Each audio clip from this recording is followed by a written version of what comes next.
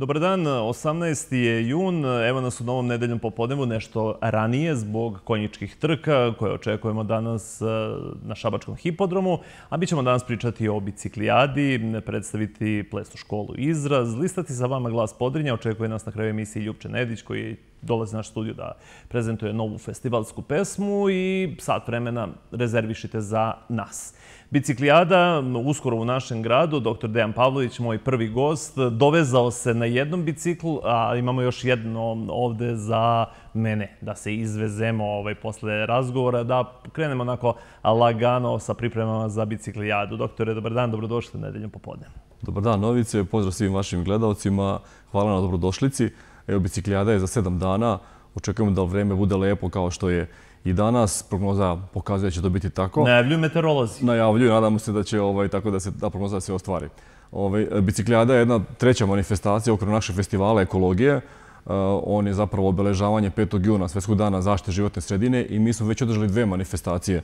Ja ću pogledati na ovoj majici, tu se već vidi. Mhm. Znači, jedna je bila takmičenje orijentiringu u Letnjoj Kovačkoj šumi održanog 3. juna. Jedno je bilo festival, sam centralna manifestacija, izbor za misiji mister ekologije, gde su se osnovci takmičili u najboljim kostimima od reciklažnih materijala i to je bilo 5. juna i od 25. juna biciklijada. Ja ću ovu majicu pokloniti tebi, nadam se da će veličina odgovarati. Hoće i znači, e, kada obučem ovu majicu, dobio sam bicikla i znači ja sam spreman za biciklijadu. Sedma biciklijada po redu. Sedma biciklijada po redu, e, znači niz godina kako ova manifestacija šapta se organizuje, samo je korona malo usporila mhm. ceo razvoj cele te manifestacije. Osnovna ideja od koje je ošte počela biciklijada jeste da se ukaže na turističke potencijale u okolini Šapca, odnosno ono što naši sugrađani u nekoj laganoj vožnji sa svojom porodicom do 10-15 km mogu obići i tamo provesti neko vreme i uživati. Zato je prva biciklijada svojevremeno išla na Šljunkaru, čujeno Šabačko more, su svi lepo proveli, ali umeđutim mi smo obilazili neke druge i turističke objekte i verske objekte, manastire, crkve, tako da zaista program bio raznovrstan. Ove godine mi idemo u etno kompleks Jankovu priču i to je e, prvi put da sarađujemo sa njima na takav način, pošto su oni naš zvaničan partner ove godine u ovoj biciklijadi. Oni imaju zaista lep prostor gde će se biciklisti posle vožnje od 16 km moći odmoriti, imati ručak i uživati u nekim sportskim manifestacijama, muzičkom programu i drugim zanimacijama koje su tu na raspolaganju. E, trasa kojom će se voziti bicikli i koliko učesnika očekujete? E, trasa će biti standardno polazak sa centralnog gradskog trga u Šapcu, znači trg Šabačkih žrtava. Okupljanje je već od pola deset u nedelju 25. juna. Polazimo oko 10 časova. Svi ćemo imati pratnju policije, tako da se o bezbednosti ne treba brinuti. Vozit ćemo laganim tempom. Krenut ćemo prvo Šabačkim ulicama, zatim kroz naselja Jevremovac, Maove i Bogosovac i doći ćemo do Jankove priče. E, ceo taj prozor, prostor koji ćemo mi voziti jedan prirodni prostor, znači e, put je dobro kvaliteta, zeleno okruženje, znači bit će opuštena vožnja, mogu svi da učestuju i deca i stari, bez odvira na kondiciju. Naravno, sam je potrebno da imaju ispravan bicikl da se ne bi desio neki defekt usput. Na bicikljadi će ovaj put učestovati i naši prijatelji udruženja da budemo svi jednaki. To su deca smetnjama u razvoju. Imali smo i goste uh, iz te kategorije i iz Lačarka prošle godine. Očekujemo ih i ove godine, tako da je bicikljada ima taj takozvani, kako mi kažemo, inkluzivni karakter, ali svakako ukazuje na potrebe bavljanja sportom i mi ujedno promovišemo i ekologiju, pa kažemo ekologijom kroz sport. Tako da je to jedna lepa manifestacija koja objedinjuje oko više ciljeva i više aspekata. Da li je potrebno prijavljivanje za one koji, evo sad po prvi put čuju informaciju, a mislim da je mali broj takvih, s obzirom da ovu biciklijadu dobro najavljujete i putem društvenih mreža, putem e, svih mogućih platformi, e, da li samo da se pojave ili su potrebne e, neke ranije prijave? Evo imaju sedam dana na raspolaganje. Tako je. Dobro je bilo da se prijave, mogu preko naše Facebook stranice Evropski centar za ekologiju, tamo već napravljen je događaj koji govori o ovoj biciklijadi, a mogu i slanjem poruke na broj telefona, ja ću ga sada diktirati, to je 064 862 3321, znači 064 862 3321, slanjem obične poruke gdje će biti, ili Viber poruke svejedno, gdje će biti ime, prezime učesnika i veličina majice koju nose, pošto svakog učesnika će dobiti i majicu. Znači nije bitno da li je dete, da li je odrasli, bit će svih veličina i mi ćemo, to će biti jedan poklon koji je uobičajen kada je manifestacija u pitanju.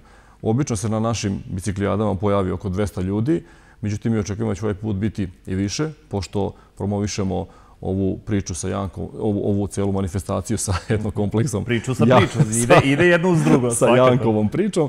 jer želimo da ukažemo i na potrebu da ovo bude jedan porodični koncept uživanja u ekologiji, u sportu, u turizmu i u dogovoru sa Jankom pričamo mi ćemo do kraja biciklističke sezone, odnosno kad god bude vreme dozvoljavalo narednim mesecima, jednom mesečno organizovati iz centra grada porodičnu vožnju do kompleksa, gdje će oni koji budu učestvovali i došli biciklima imati i neke popust na usluge koje se tamo mogu koristiti. E, možemo sad već da pričamo o rezultatima e, ekološkog festivala, e, odnosno festivala ekologije, gde su porodice učestvovale. Koliko je e, već sada možemo da kažemo da ste e, ovom manifestacijom koju ste prilagodili svim uzrastima e, uticali na svest najmlađe populacije, na roditelje, odnosno na sve građane?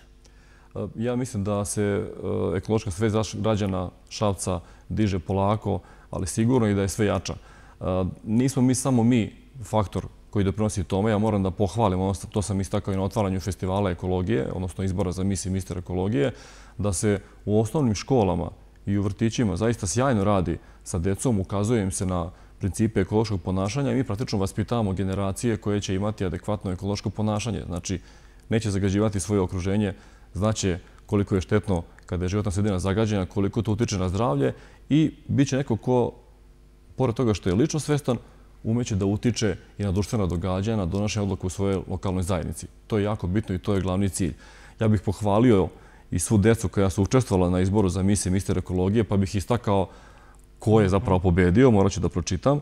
Znači, mis ekologije je bila Mila Mitrović iz osnovne škole Jevrem Obrenović, a mister ekologije je bio Mladen Stevanović iz osnovne škole Cvetin Brkić. Znači, to su deca koja su se među 120 učesnika istakla svojom kreacijom.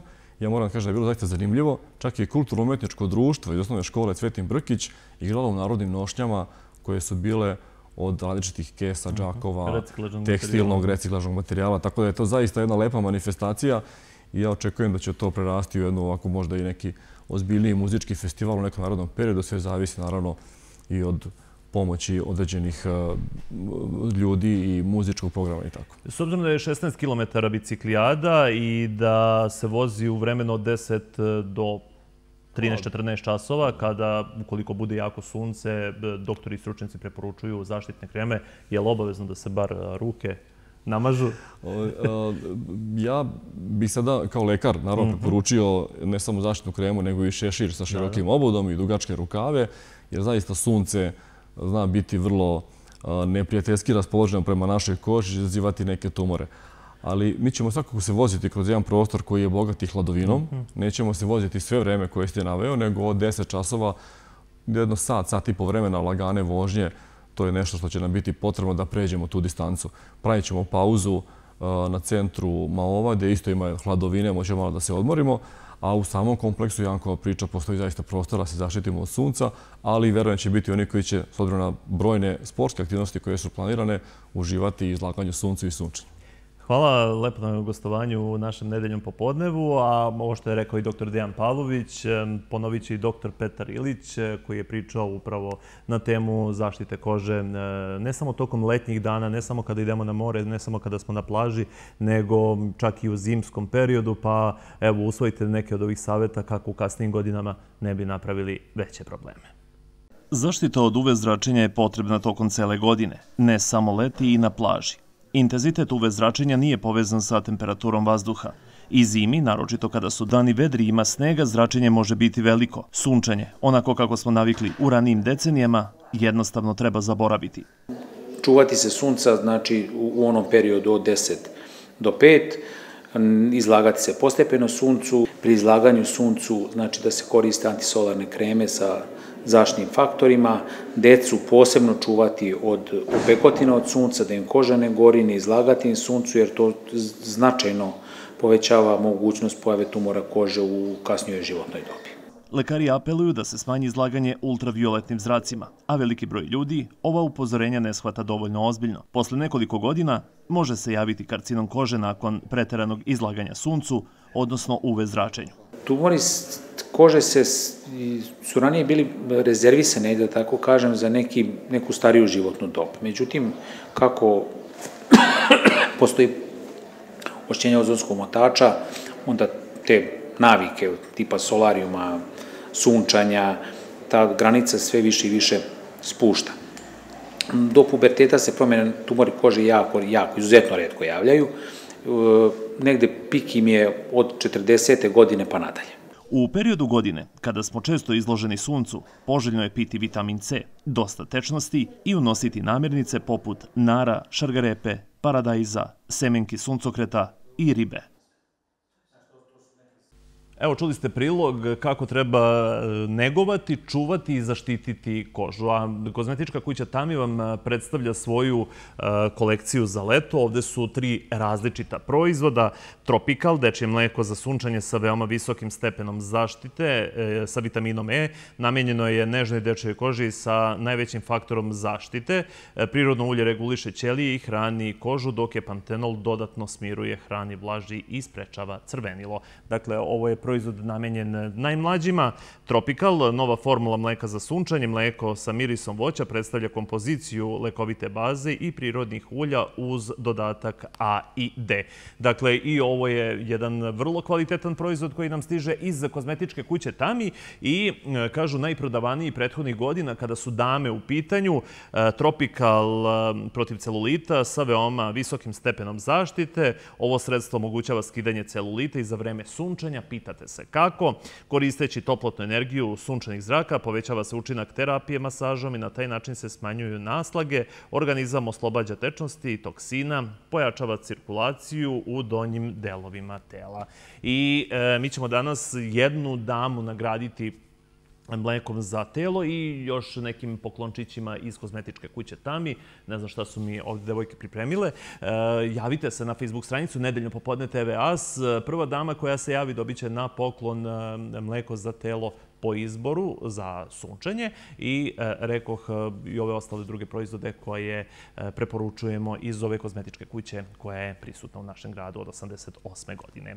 A sada pričamo o plesnoj školi Izraz. Dolaze mi u goste Predrag Dedić i Nina Živković. Da. Dobar dan, dobro mi došli. Jedna mlada dama koju ćemo danas predstaviti. Hip-hop break dance. Dobri rezultati, predstavili ste svoj grad eh, ne samo ove godine, već svih prethodnih godina. Rekao bih da je ovo sada kruna jednog rada, eh, rezultati su vidljivi. Oni koji prate vaše dešavanja, koji prate tu plesnu scenu, eh, dobro su upoznati sa tvojim mentorstvom, sa tvojim kvalitetnim radom, s obzirom da si dugo godina u ovoj ozbiljnoj priči. Tako je, da. Evo sada već u septembru će biti četiri godine od postajanja plesne škole Izraz i ovaj, malo smo se proširili, osim što držimo i časove u Šapcu, držimo u Beogradu i više se takmičimo i sada nekako se pokazuju ti rezultati. Evo imamo mladu Ninu Živković koja, koja je naša mlada zvezda i nedavno smo bili na takmičenju međunarodnom koje se održavalo u Beogradu. To je jedno poznato plesno takmičenje 5, 6, 7, 8 se zove. I oni organizuju takmičenje širom mhm. Srbije, a i, i, i, i Evrope. Zapravo čak imaju, ja mislim, takmičenje u Dubaju. Ovaj, I sad smo nedavno ovaj, dobili prvo mesto u dečijoj kategoriji u hip-hopu i za odrasle isto prvo mesto i ovaj, neke specijalne nagrade, tako da jako smo zadovoljni ovim posljednjim uspehom i evo Nina je jedna od, od naših takmičarki koja je učestvovala na tom takmičenju i ovaj, jako smo ponosni, eto, prosto. Nina, kako je bilo na ovom, hajde kažemo, posljednjem takmičenju? Za sada posljednje, ali bit će toga još. Prenesi neka svoja iskustva. Pa, bila je baš onako velika bina i mhm. malo me uhvatila onako trema, ali posle sam se oslobodila pošto kada se unesem u muziku, to mene ono, izbavi svega, tako da volim da igram. I, I prosto te samo ta muzika ponese i pokažeš sve ono što si učila na trenizima. Koliko dugo treniraš? Već tri i po godine. Mhm. Što znači da je ona od skoro samog početka rada? Od samog početka. Koliko si imala godina kada si počela da se baviš? Pa sigurno jedno pet i po. Mhm. I? I Nisi odustala ni jednog trenutka? Da. E, bila sam najmlađa kad sam krenula da igram. Da, tako je. I e, nije me to jednostavno sprečilo da napredom u hip-hopu. Kakav je Peđa kao učitelj? Pa, predobar. Predobar. Sve nam je lepo priredi i mhm. igramo se, družimo se. Znači, ono znanje koje on stekao zna da prenese na vas? Da. Tako. Ali još ima za učenje dosta, je li tako? Da. Dobro smo se dogovorili mi pred ovo snimanje da ona mene pohvali. To, E, Hip-hop, breakdance, koliko je to uopšte danas, e, evo, mladima, njenom uzrastu, e, možda malo starijima, zanimljivo? Koliko su danas deca spremna da idu u plesne škole? Pretpostavljam da ti kada si bio u ovom uzrastu da je bilo mnogo više plesnih studija, plesnih škola gde su deca. E, je li taj trend nekako sada poljuljan da je malo opao? Ili imate problem sa, sa članovima? Uh, Ja bih rekao da, na primjer, u moje vreme zapravo, kad, kad sam ja tek počinio, nije zapravo bilo toliko... Nije bilo toliko. Da, da, bilo je dosta manje zastupljeno. Uh, bilo nekim svojim začecima, Mhm. tako reći. Hip-hop već čak i da gotovo nije, ni postojao. tada. Breakdance jeste, tako da to, to, to je onako bilo prilično, prilično popularno. Uh, ali odjednom onda vremenom nekako iščezlo, ne znam, ne znam, ne znam šta se desilo u tom nekom periodu. I polako ja mislim da se vraća taj trend, pogotovo mislim zbog društvenih mreža, TikTok, Instagram dosta pridodaju značaju i popularnosti hip-hopa i generalno plesa i sad je to nekako deo pop kulture. Hip-hop je dosta, dosta sada kad kažete hip-hop svi su čuli za to. Uh, I mislim da je jako rasprostranjeno među omladinu. Mislim da, da, da to privlači dosta omladinu. Tako da, ovaj, o, što se tiče zainteresovani, sada, ja mislim da nikad više. Ovaj, i, I prosto o, treba, treba, ovaj, treba, ako nešto voli, neko treba, treba da se to gura. Ko, čak i da nije, o, možda da je u nekom, e, nije, i da nije u jeku i da jeste, treba opet gurati, pa u nekom periodu će ono biti bolje ili gore, ali prosto tu smo, održavamo se, mi ćemo se truditi da budemo ovaj, prisutni kao škola i, i da promovišemo tu hip-hop kulturu. Ovaj, ali trenutno, na primjer, break, e, koji je break dance, inače svi poznati poznatije kao break dance, a inače kao pravi termin je break ili ti breaking, ovaj, sada postaje opet dosta poznatiji nego, nego do, do pre možda godinu dana, jer ovaj, uh, prvi put će biti uh, na olimpijskim igrama kao, kao disciplina, Disciplina kao sport. Tako da to će biti jako zanimljivo u Parizu. Ovaj, jedva čekamo da vidimo kako to ispadne. Tako da, eto, ovaj, deca će sada moći ovaj, da, da budu i vrhunski i profesionalni sportisti u brejku, tako da i, i to je veliki poziv za njih. Ninan, koju muziku slušaš? Šta voliš? Pa najviše stranu. Je li to zbog tog hip-hopa, odnosno zbog uh, muzike koja je zastupljena na časovima plesa? Pa od uvek sam voljela stranu muziku, od uvek sam je i pevala i stvarno koji god da, da nađem, ja ću nju rado da naučim, ako mi se naravno svidi, a i zbog hip-hopa.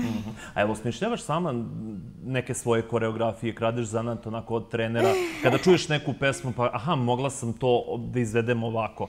E, Neobavezno, ne ono kada se pripremaš za takmičenje i, i, i, kada treniraš. Pa nekad može da se desi, da. E, mora recimo svaku numeru ili te prosto svaka numera onako e, natera na ples. Pa, e, kako da sad kažem, Voliš da plešeš? volim, da, I čim čuješ neku pesmu, ti... da, mogu da plešem, da. Da, to je ono kada E, posle tri i pol godine ples uđe u krv, tako da... Prvo može na sve. Ja sam nekad ovaj, uhvatim se da igram uz veš mašinu, tako da zvukovi veš mašine i onda samo kao zzz, zzz, i to, tako Od da. koga si ti učio? Ja sam učio uf, od mnogih ljudi. Ovaj, ja sam se usavršavao u Australiji zapravo, a ovaj, moji začeci su Too Hot for Stage u, u Beogradu. Ovaj, to je poznata, jedna od najstarijih plesnih škola što se tiče hip-hopa u Srbiji. Ovaj, ali nakon toga sam, o, kada sam se preselio u Australiju, tamo sam učio od o, dosta poznatih ovaj, hip-hop plesača tamo i uglednih i ovaj, bio sam na dosta radionica od, od ovaj, pionira ovih plesova, tako da o, tu moje znanje potiče. Nina, su tvoji drugari zainteresovani za ples? Prenosiš ti svoje iskustva sa treninga, sa takmičenja? Jel bi voleli oni da se oprobaju? Pa, da. E, svima predlažem, imam jednu svoju drugaricu, rekla sam je da slobodno može da se upiše. I hoće? I, pa, vidjet ćemo. Mora još da porazmisli, ali mislim da će rado doći. Dobro, od septembra. Jel tako kreće Tako je, nova sezona? Sad je mala pauza zbog raspusta, leta, odmora. Znate sve, to to u junu ovaj, pravimo pauzu sve do septembra o, i od septembra krećemo ponovo. Imamo dečiju grupu za hip-hop, imamo dečiju grupu za break i imat ćemo malo stariju grupu dece, recimo od 12 do nekih 16 godina, isto za hip-hop. To će nam biti novi, kao nova grupa dece. Imamo za odrasle također, mhm. koji su 18 plus godina. Ali gdje trenirate? Treniramo u Šapcu Kralja Aleksandra 10, to nam je adresa. To je u sklopu fitness centra i taekwondo kluba Šabac. Tako da vam je lako naći i pozivamo sve u septembru da dođe na upis i da ovaj, dođu što pre da se upišu jer će biti da, puno ljudi. Da, da, će krene onak posle, posle ovih takmičenja, posle ovih silnih nagrada, ali verujem da će te olimpijske igre dosta ovaj, biti, ovaj, da će značiti zbog same popularizacije breakdansa. A, a vi ste zastupljeni putem društvenih mreža i svi se mogu poznati sa vašim radom, sa fotografijama, snimcima, kako to izgleda na trenizima, takmičenjima, tako da roditelji mogu već sada da pogledaju. I e, koje su najbolje godine za početak bavljanja plesom? Ja mislim da, da ne postoji najbolja godina, postoji ona kada, kada je osoba spremna po mhm. meni. Tako da e, ovo je i jedno poziv za ljude koji misle da su zakasnili. Niste zakasnili, evo, vi možete krenuti da plešete ako imate nije potrebu kasno, za, za uopšte nije Ali kasno. Ali ako deca imaju pet i po godina, kao, koliko je Nina imala kad je počela, da. i, i, i, i, i to može. Je li ima Naravno. netalentovanih? Je li može sve da se nauči? Uh, sve može da se nauči, naravno, talent je, uh, neko ima više talenta. Samo jedan deo, Tako, ali to je jedan deo, ali naravno da sve može da se nauči. Uh, uvek trud nadmaši talent, tako da u principu, ako dođu na časove plesa, naučit će definitivno plešu. Bilo da odu u klub negde da, da igraju za sebe mhm. ili sa prijateljem, ili ako hoće nešto više od toga, naravno, mi sve to pružamo. Tako da. Hvala vam što ste bili moji gosti. Hvala vam puno na pozivu. I od septembra se vidimo kada krene nova sezona i kada krenu nove nagrade. A verujem da će ih biti. Hvala puno. Ja vam preporučujem da sratite i u uh, prodavnicu parfema Parfen, koja se nalazi u Masarikoj ulici broj 41 kod medicinske škole. Cena e, jednog mililitra je 23 dinara, u ponudi imaju 170 mirisnih nota. Parfemi za muškarce i žene, sratite do njih. Ukoliko ste već e, kupovali ambalažu, tu ambalažu koju ste, parfen koji ste e, potrošili, tu ambalažu možete ponovo doneti u parfen i onda nećete morati da plaćate novu ambalažu, plaćate samo cenu parfema. I evo, preporučujem vam da se upoznate sa njihovom ponudom putem Instagrama Parfen ili e, putem Facebooka. Oni su naši dragi, e, dragi prijatelji u ovom nedeljnom popodnevu. A e, također preporuka nam stiže iz Vulkana. Marija, PR Vulkana, donosi nove informacije kada je ova izdačka kuća u pitanju, a onda ćemo vam posle priče naše Marije predstaviti knjigu Ostavi svet za sobom. Vulkan izdavaštvo pripremilo je brojne hitove uz koje ćete sigurni smo uživati. Mi vam danas predstavljamo neke od njih. Prava book talk senzacija, knjiga Sve što nismo preboleli od Lucy Score sa više od 20 miliona pregleda na društvenoj mreži TikTok. Prodata u više od 4 miliona primjeraka širom sveta. Saznajte i vi zašto je ova knjiga prava svetska senzacija. Također, ukoliko volite intrigu, avanturu, romansu, preporučujemo knjigu Moj brat Michael. Za vas smo pripremili i čuvenu Orvelovu 1984. Jedan od najznačajnijih romana prošlog veka. A svi znamo koliko je značajna knjiga poniženi i uvređeni velikog Fjodora Dostojevskog. E, sada smo redizajnirali korice i verujemo da ćete uživati u obnovljenom izdanju. Mi vas također pozivamo da do 22. juna putem zvaničnog sajta Vulkan izdavaštva vulkani.rs iskoristite još jednu fenomenalnu akciju. Možete kupiti odebrane Vulkan knjige na popustu do 50%. Uz to imate svakako i besplatnu dostavu na teritoriji cele zemlje. A ukoliko želite da obogatite dečju biblioteku i obradujete vaše manešane, imate sjajnu akciju na sajtu vulkančić.rs do 30. juna možete kupiti odebrane Vulkančić knjige na popustu od 30%. Verujemo da ćete uživati u predstojećem letu. Uvek, dragi gosti, u nedeljnom popodnevu, kolege iz Glasa Podrinja, Milica Mijajlović i ove nedelje u studiju televizije Jas. Milice, dobro mi došla. Dobar dan, bolje te našli. Evo, prelistavamo glas Podrinja. Za one koji su sad navikli da listaju glas Podrinja zajedno sa tobom, tvojim kolegama. I šta je to što preporučujemo, koje su to aktuelne teme koje se nalaze u posljednjem broju? Ovaj broj nam je baš onako lijep, šaren, e, ponovo mlad. Mhm. Pored aktuelnih tema gradskih, šta se sve dešavalo u gradu, to smo ispratili. Imamo šabačku folklorijadu. Imamo prvi mlekomat u Koceljevi koji je prvi uopšte u ovom delu Srbije otvoren. Zatim da vidimo, ovako imamo, e, ispratili smo akciju e, Još si mi trag, koja je zapravo promocija donorstva organa koja je bila ovdje na trgu. To je bio i dan obeležavanja nacionalnog dana donora, ali i kampanja koja je krenula iz Šapca. I tako, bilo, je, bilo je lepo i ljudi mogu sada malo više da se informišu, da vide kako žive ljudi koji su dobili organ, kako žive oni koji još čekaju organ. E, imamo e, priču o aditivima sa profesorskom visoke škole. Zatim e, imamo naše mlade šapčan, šapčane, Anu Đurić koja je dobila nagradu za likovno stvaralaštvo i šapčanina Nikolu Jeremića Nikitu koji komponuje muziku za filmove, videoigrice. I otvorili smo jednu temu, a to je e, grad Šabac je na posljednjoj sednici Skupštine koja je od četvrtak održana donio novu odluku o kojom se reguliše držanje kućnih ljubimaca i domaćih životinja i koja bi trebala da bude nešto povoljnija po, po vlasnike ljubimaca, da im i neke nove obaveze, ali prosto da, da se konačno malo uvede reda tu, da ne mogu ljudi da se ponašaju prema životinjama kao prema starim cipelama kad im dosad da ih se rešavaju i tako. Tako da ćemo se time baviti u nekoliko narednih brojeva. Um, aktuelne uvek teme e, koje su, verujem, dopadljive e, čitaocima, ali uvek se nešto novo e, smisli, pa se napravi neki vreme, plovna neka prošla vremena, što vi to i činite poslednjih nedelja u glasu Podrinja. Uvek su nam dobrodošli predlozi naših čitalaca i često tražimo i preko našeg Facebooka njihove mišljenja, njihove savete. Ali i fotografije iz njihove arhive. Fotografije, da. Ako imaju iz arhive nešto da, da, da nam e, ponude da uvek nam je to da znamo, da se prisetimo šta je nekad bilo u Šapcu, šta su Šapčani nekad voleli.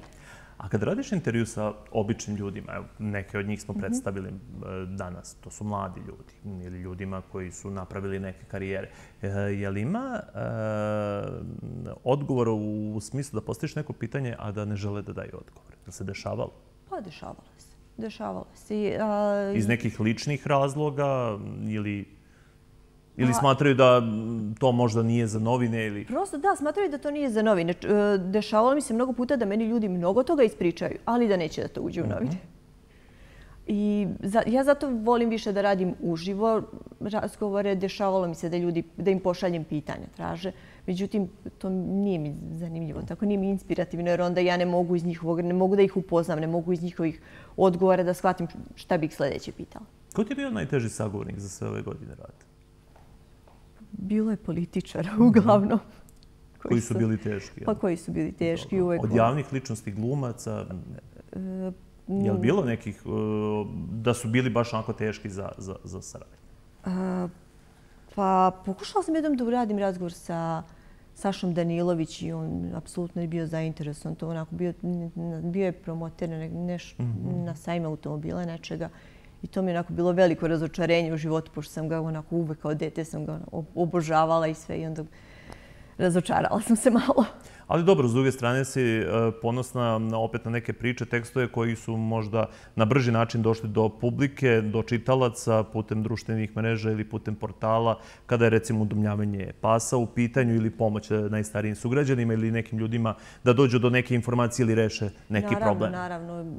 Imali smo i imali smo jedan, to je bio ovako dirljivo, jedan devojčica koja je slepa od rođenja je imala je svog mačka koji je pobegao iz stana i nestalo ga je i dete tada imala dve, tri godine, jako je patila za mačkom i mi smo to objavili i jako brzo su javili gde su mačku videli. To je čak bilo nešto kasno uveče i kad je porodica krenula po mačku, onda su još sreli neke koji su videli kod nas objavu i krenuli se da traže mačku.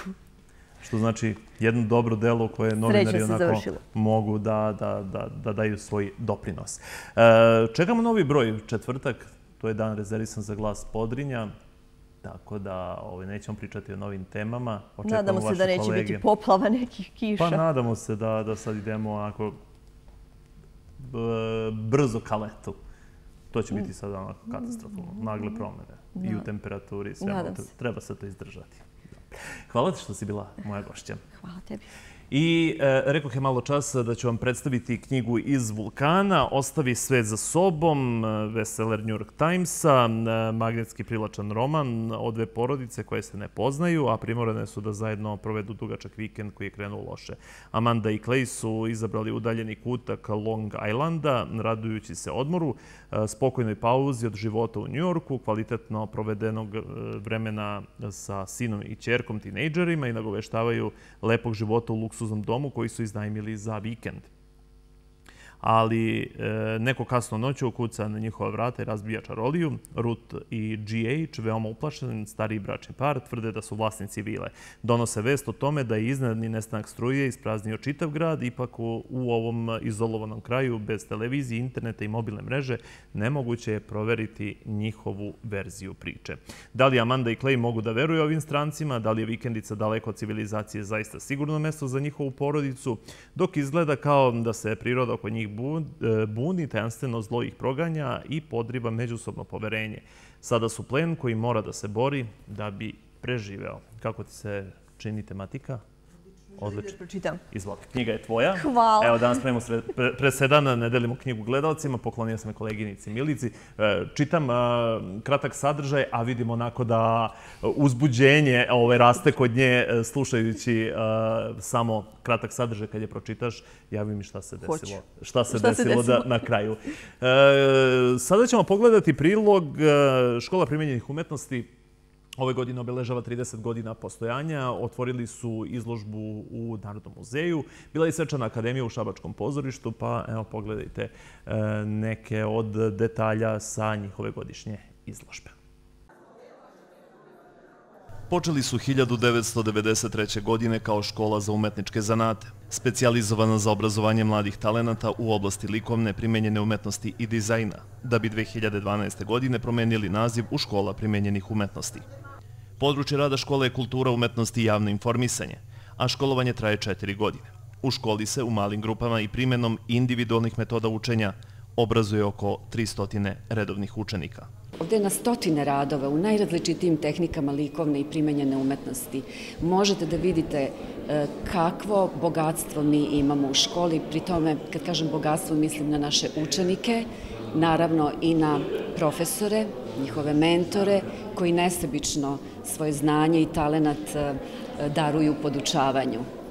Eh, ove godine imamo eh, preko 20 nagrađenih učenika na republičkim takmičenjima i konkursima, a troje naših nastavnika ponelo je titulu zaslužni likovni pedagog i to je titula koju ne dodeljuje škola, nego jedna šira zajednica na nivou eh, države. Sa republičkih takmičenja u kategorijama kaligrafija, grafika, slika, crtež i fotografija, profesori Mihajlo Simović, Nataša Jovanović i Mladen Pantelić zajedno sa učenicima su ove školske godine osvojili 15 nagrada. Velika je čast dobiti nagradu zasluženog likovnog pedagoga Srbije. Ovaj, već ja mislim da je to drugi ili treći put, više i ne mogu da zapamtim, ali jako velika čast ali ništa ne bi bilo toga da nemamo ovako divnu decu, to možete vidjeti na večerašnjoj izložbi i po njihovim radovima. Jako dosta se trude i e, meni je najveći uspeh, negde potvrda svog rada, e, negde kroz njih, kad vidim e, koliko rade, koliko se trude i samim tim i nagrade koje osvajaju. To je negde suština svega toga. Na godišnjoj izložbi svoje radove predstavila i maturantkinja Ana Đurić, dobitnica nagrade za likovno stvaralaštvo i nagrade za postignuće u oblasti primenjene umetnosti. Ovde ima nekoliko mojih portreta i to su možda meni moji najdraži radovi jer stvarno volim da se bavim portretima, volim da se bavim ljudima, to je jedna velika strast. Velika mi je čast da nosim ovolike nagrade koji su sa ove divne manifestacije. Stvarno mi je velika čast i zadovoljstvo prosto da budem ovde svake godine sa nekim radom, a pogotovo ove godine sa ovolikim zaslugama. Stvarno voljela bih da se zahvalim svim svojim mentorima, jer da nije njih, ja stvarno ne bih bila ovde gde sam sad. Svečana akademija povodom jubileja održat će se u Šabačkom pozorištu, gde će biti prikazan film o školi i scensko-muzički komad Svetlost ljubavi. Muzički gost na kraju ovog nedeljnog popodneva. U studiju nam stiže Ljubče Nedić. E, sada dok e, nismo ušli u studio, pričali smo kako je to izgledalo nekada na muzičkoj sceni. Čovjek obeležava 40 godina kako je ušao u kafanu. Nešto malo manje godina diskografije. Tek 3, 4, 5 manje. Pekao zanat. Dugo Ljubče, dobar dan, dobro mi došli. Dobrodošli u Šabac u nedeljno popodne. Znam da Šabac mnogo volite jer je grad muzike i u Šabcu su uvek svi muzičari dobrodošli. Hvala na, na dobrodošlici i da pozdravimo sve slušalce i gledalce vas televizije i radije. Pre nego što ste e, došli na raspevanu jesen, e, kažem zbog, zbog čega muzičari vole Šabac, upravo zbog te e, dobre muzičke priče, vi ste ušli u kafanu 83. godine, pekli zanat, dobro ga ispekli i dan danas ste prisutni u kafani. Niste se umorili za ove četiri decenije? Pa nisam, Bogu hvala, zdravlje mi prilično služi, a i glas i i ovaj, vraća se ta muzika, uvijek ima ona svoje slušalce, ti stari narodnjaci, zahtevni narodnjaci. Ovaj, pa tako da uvijek ima nešto iza nas se nađe tezga. I onda ste 4-5 godina pekli zanat, e, došli do takmičenja raspeva na jesen, koja vam je, ovo takmičenje vam omogućilo i da snimite e, prvu pesmu e, na toj zajedničkoj ploči tada još uvijek, za Jugodisk, je tako? Da, Jugo Diske objavio 88. a ja sam učestvo u raspevana jesen 87. Po igrom slučaja upoznao sam Hasana Dudića dole, u, ova njegova druga supruga je bila od Modriće Šamca, ja sam tu pevo restoran Dam Daj čuveni koji je dugo radio i tako je došlo do saradnje, on ponudio tu pesmu, ja sam se pojavio, da sam dobio neku nagradu, sad ne mogu da se setem šta je, koja je bila nagrada u, u obliku čega, ali Odmah smo 88. uradili još sedam pjesama i uvo diske izdo tada LP ploče bile i kasete. I ta pesma Mnogo sam te voleo na radio stanicama koje emituju narodnu muziku je i dalje prisutna. Pa ona mi je neki zaštitni znak. U stvari ona me čuva. Jel? Ja, na mojim tezgama je većinu ova publika srednjih i starijih godina, ali ima tu i mladi ljudi i onda kažu čika Ljubče, jel može ona mnogo sam te voleo. On, oni znaju tu pesmu, ali su ovaj, mladi dosta, oni ne znaju. O, tek posle oni skuže mm -hmm. kada je otpevan par, pa to je tvoja pesma, pa rekao, moja lična karta i tako. E, evo je predlaženo, čujemo pesmu Mnogo sam te voleo, pa ćemo da nastavimo razgovor, da pričamo šta je to novo, a ima noviteta. Drago mi je što je Ljubče Nedić, moj današnji gost, evo predlažem da čujemo tu pesmu iz 88. godine. 88. objavljena. godina.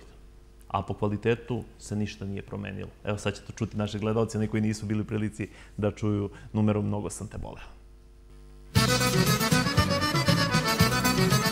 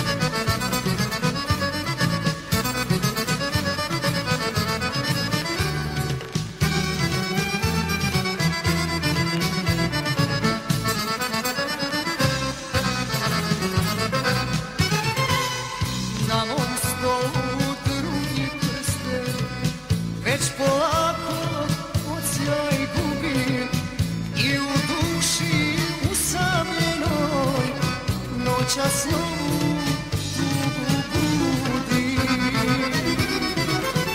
I u duši usamljenoj noćas novu tugu budi.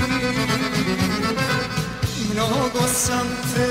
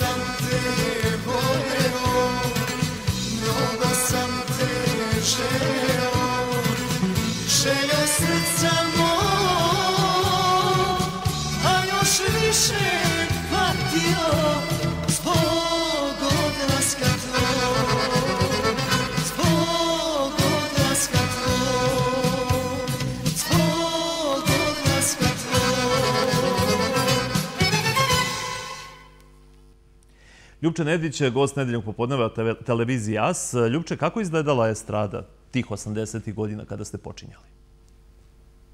Pa izgledala je mnogo drugačije i ima to dosta i godina i drugi način života. Tad je bila kafana sve. Ponekad diskoteka se otvorila u okruženju. Na Orašu, kod nas je bila King. Ali kafane su Zna se bile- ko je išao u diskoteke da peva, ko je peva u kafanama. Sve se znalo to. I onda, tad se radilo svaku večer. Mene ljudi pre kad sretnu kažu ovaj, gde radiš sada, a sad kad me sretnu, gde može da te čujemo? Koji vole tu narodnu pravu muziku. Znači, drastična je razlika. Uglavnom pevači, narodnjaci, danas samo na e, veseljima, na zabavama pevaju. Nema više kafana gde se peva e, ta neka kafanska muzika. Ima kafane, ali kod njih, e, u tim kafanama vlasnici većinom naprave privatnu žurku ili- ili zabavu. Znači, ljudi koji su pozvani zbog nekog ili rođendana ili godišnica braka ili se rodilo unuče i tako. A kafane kao kafane, da svaku večer publika dolazi i ostaju do jedno jedan sat, pa onda idu ujutru u firmu, pa opet sutra na večer dođu, a vikend se radilo i do četiri produženo. Bio život u kafani. Da, drugačije se živelo. Skroz drugi način života bio. A posle te 88. godine, kako se razvijala dalje vaše, vaša karijera? Šta ste Pa snimali? ona je išla uzlaznom linijom, ja sam os- 93. snimio isto jedan, možemo reći ne hit, ali slušana pjesma koja je kome ostao dužan, isto Hasan mi uradio album koji je izdao Juve Komerca za zapad, već su bile privatne disko kuće Lazarević, ali imao sam nesreću da su došli, došla je ta 91. druga godina kad je na ovim prostorima ovaj, i ratno stanje i znači malo je diskografija bila potisnuta. Tako da kad sam trebao baš da napravim taj uzlet i Zenit, svi smo gledali da preživimo. Ali se pevalo i tokom rata. Pa ja sam peo u Austriji. Mnogima nije bilo do pesme, ali mnoge je pesma održala Je- u, jest. u, u ta ne- nesrećna vremena. Tad su kafane i radila. Ja sam otišao u Austriju negde 93. pa sam tam ostao negde do 97. Beč, Innsbruck dole gde sve nisam bio i tako. Vratio sam se 98. Nisam sebe našao dole da ostanem za stalno i tako. Ali onda stiže i duetska pesma sa Ćanom. Da, onda je Ovaj, 2001. sam snimio taj duet sa Ćanom, ne pitam ko se, bilo je tu u pesama da mi nije tuge koje se izvojile i dana dan se slušaju. I prije toga sam imao za produkciju Lazarev da ti vratim preveru za neveru, jedna mm. vesela pesmica za Rana Mladića, ali eto, ostala je slušala. I, I danas, kad sam negde na nastupima, ovi mlađi to kažu, tražim Znamo, poznato je. Da im otpevam. Tako. Hvala Bogu, radi se još uvijek, glas služi, zdravlje i to je. Ali e, ova godina je prošla u znaku festivala, zapaženom nastupu i jednoj lepo emotivnoj pesmi. Pa ja sam imao ponud od televizija Duga Plus, ne znam kako se produkcija kod njih zove, da se pojavim na festivali. Cijan koji Charlie, moj drugar koji je napravio pesmu tu s Janom duet i ne pitam ko si, imao je neku pesmu interesantnu koja mene vrati u ta nekad sretna vremena kad se pevalo o kafani, o majici. Sanjao sam majiku, pjesma se zove, malo sam pronašao u njoj sebe i tako da sam uradio. Nakon, eto, deset godina nisam snimao, deset, dvanest godina. Ništa. Kakvi su utisci sa festivalom? Pa fino je bilo, mogu vam reći da je na nivou, kako to sad festivala dosta ima privatni ovo, imao, imao neki svoj nivou. Naprimjer, stručni ovi žiri za ocjenjivanje Daša bio iz legendi prijesednik, bio je Novica Nikolić Patalo, harmonikaš. Bilo je dosta ljudi ovako u ovom našem poslu koji su imena i mhm.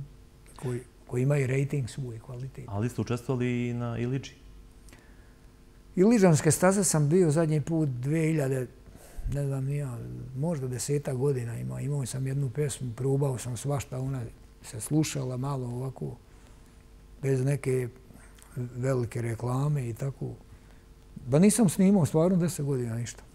Kad vam autori ponude pesmu, šta je presudno? E, da li kompozicija, odnosno melodija ili tekst? Pa jedno šta je prvo što, što, što, što vam onako Pa čim pročitam tekst, ako me dirne tekst, vidim nešto ovaj, kvalitetno i ono što, što ja pevam, što sam u tom, ja uzmem. Ali do sad nisam imao neku priliku. A i muzika, ako mi, ako početak muzike u stvari ti fošpili ne, ne govore ti pesme, ja izbjegavam takve pesme. I ne vidim sebe. Ovaj. Koliko ste se poistovećivali sa vašim pesama, nazivima, tekstovima?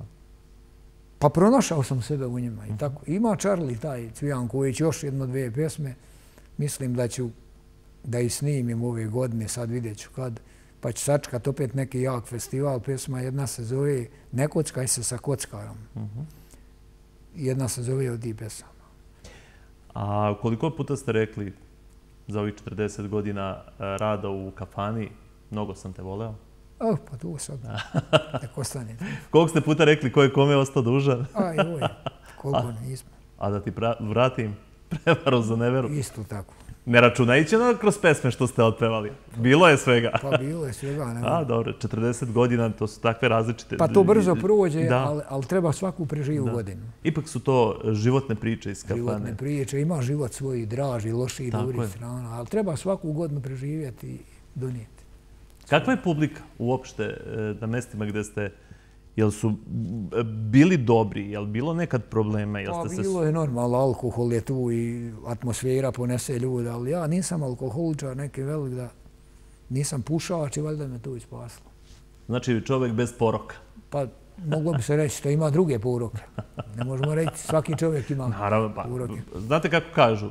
To nije sad način opravda, da, da se neko opravda živa duša. Ali u našem poslu je puno bitno ovaj, da nije spušač i da strastveni. Onaj, uh -huh. i, I da ne konzumiraš alkohol previše. Sad ćemo poslušamo pesmu najnoviju koju ste snimili dok se ne pojave ove nove. Kada se pojave nove, dođite da ih promovišemo. Pa mislim, po jedna će biti, vi znate, sad se to snima single, sad se ne mhm. rade albumi da ću rad do, do jeseni tamo, do, do nove godine, još dvije pjesme za rotira. Sad vidjet ću neke festivale i tako.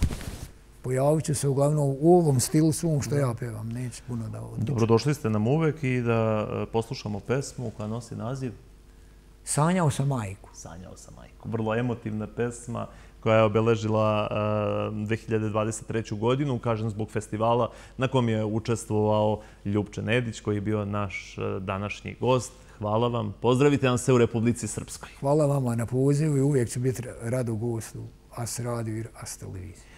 A sad da poslušamo pesmu Ljubčeta Nedića.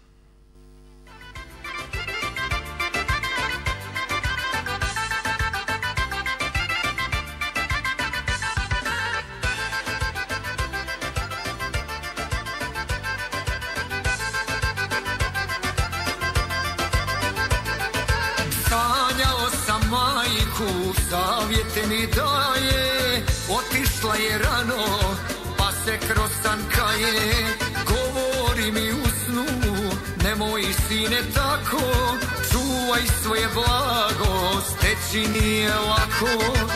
Govori mi u snu, nemoj sine tako Čuvaj svoje blago, steći nije lako.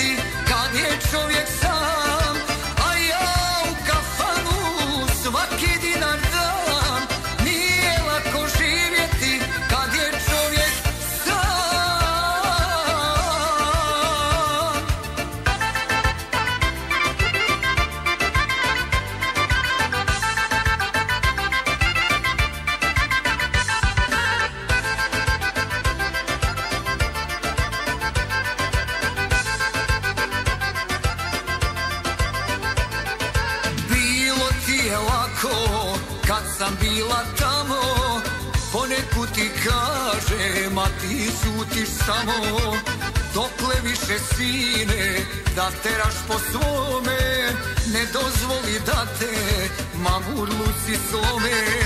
Dokle više sine, da teraš po svome Ne dozvoli da te mamurluci slome.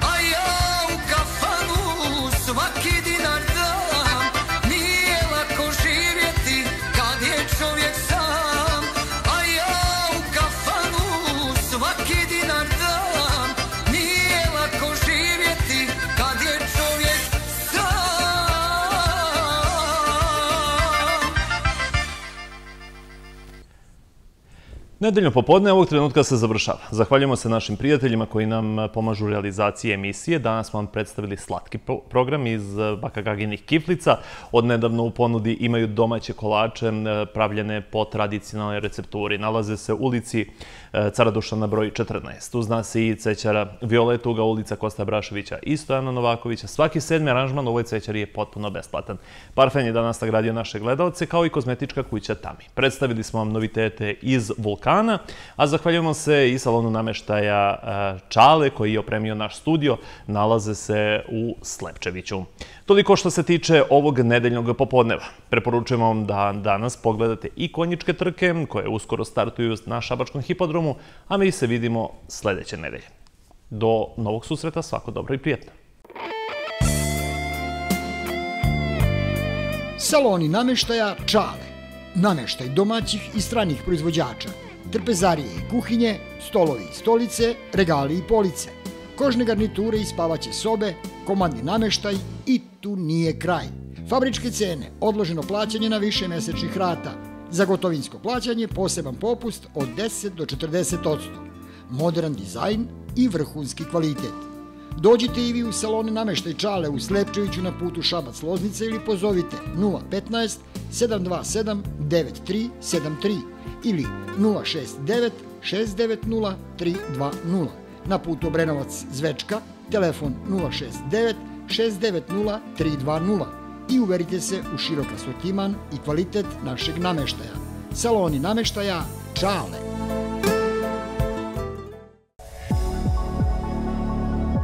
Nešto novo u našem gradu. Parfen Šabac. Francuski parfemi na točenje rađeni po najvećim svetskim brendovima. Preko 150 različitih mirisnih nota. Vrhunski kvalitet, pristupačne cene. Pogodan za poklone uz naše poklon vouchere. Odaberite svoj omiljeni miris, obradujte svoja čula i priuštite sebi zadovoljstvo. Parfen Šabac, Masarikova 41 u blizini muzičke škole,